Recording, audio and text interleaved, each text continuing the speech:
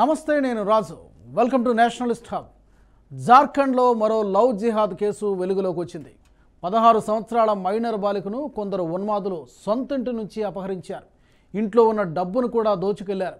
తమ ప్రాంతంలో నివసించడం ఇష్టం లేదని బెదిరించినా వినకపోవడంతో పట్టపగలే బాలికతో పాటు ఇంట్లోని బంగారం నగదును కూడా అపహరించినట్టుగా తెలుస్తోంది. ఇటీవల తన పదహారు సంవత్సరాల కూతుర్ని కొంతమంది కిడ్నాప్ చేశారని హజారీబాగ్లో ఉన్న కెరదారి పోలీస్ స్టేషన్లో ఓ మహిళ ఫిర్యాదు చేసింది.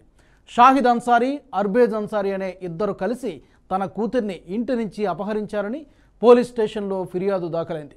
ఆ ఫిర్యాదు ప్రకారం షాహిద్ అన్సారీ అర్బేజ్ అన్సారీలతో పాటు నలుగురు గుర్తు తెలియని సహచరులు నవంబర్ నాలుగున మధ్యాహ్నం రెండు గంటల సమయంలో బాధితురాలి ఇంటి వద్దకు వచ్చారు. రెండు ద్విచక్ర వాహనాలపై వచ్చిన నిందితులు ఇంట్లోకి చొరబడి బాలికను ఈడ్చుకెళ్ళారని బాధితురాలి తల్లి ఫిర్యాదులో పేర్కొంది.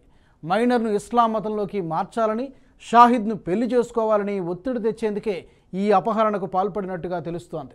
అపహరణ సమయంలో ఇంట్లో ఉన్న మూడు లక్షల ముప్పై వేల విలువైన బంగారం వెండి ఆభరణాలతో పాటు ఇరవై ఐదు వేల రూపాయల నగదును కూడా అపహరించుకుని వెళ్ళారని చెప్పుకొచ్చింది.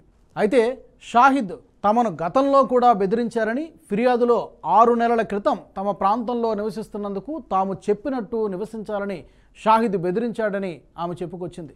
ఈ బెదిరింపుల్లో నిందితుడితో పాటు అతని తల్లిదండ్రులు స్థానిక అంజుమన్ ముస్లిమన్ కమిటీకి చెందిన హబీబ్ మియాన్ కూడా కలిసి బెదిరింపులకు పాల్పడ్డారని బాధితురాలు తల్లి చెబుతున్నారు. ఇక మహిళ ఫిర్యాదుతో నిందితులపై సత్వర చర్యలు తీసుకోవాలంటూ స్థానిక హిందూ సంఘాలు డిమాండ్ చేస్తూ స్థానికంగా నిరాహార దీక్షలు కూడా చేపట్టారు. ఈ సంఘటనపై గతంలోనే ఫిర్యాదు చేసినా కూడా పోలీసులు ఎందుకు పట్టించుకోవడం లేదని విమర్శించారు. ఈ కేసులో పోలీసులు నిర్లక్ష్యంగా వ్యవహరిస్తున్నారంటూ ఆగ్రహం వ్యక్తం చేశారు. అయితే దేశంలో లవ్ జిహాద్ కేసులు రోజు రోజుకి పెరిగిపోతున్నాయి. అమాయక హిందూ మహిళల్ని ప్రేమ పేరుతో వలవేసి అపహరించుకుపోవడం లాంటి సంఘటనలు ఎక్కువవుతూనే ఉన్నాయి. ఇలాంటి సంఘటనల్ని పోలీసులు అడ్డుకుని ప్రజల్లో అవగాహన తీసుకురావాల్సిన అవసరం ప్రభుత్వాలపై ఎంతైనా ఉంది. కానీ సెక్యులర్ ముసుగులో ఉన్న ప్రభుత్వాలు ఇప్పటికీ ఈ ప్రమాదాన్ని గుర్తించకుండా మొద్దు నిద్రను నటిస్తున్నాయి.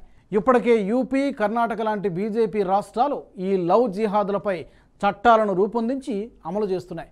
కానీ ఇలాంటి చట్టాలను దేశవ్యాప్తంగా అన్ని రాష్ట్రాల్లో తీసుకొచ్చి అమలు చేయాల్సిన అవసరం ఎంతైనా ఉంది. ఇప్పటికైనా అన్ని రాష్ట్ర ప్రభుత్వాలు ఈ లవ్ జిహాద్పై ఆలోచించి సంపూర్ణ చట్టాలను రూపొందించాలని పలువురు డిమాండ్ చేస్తున్నారు.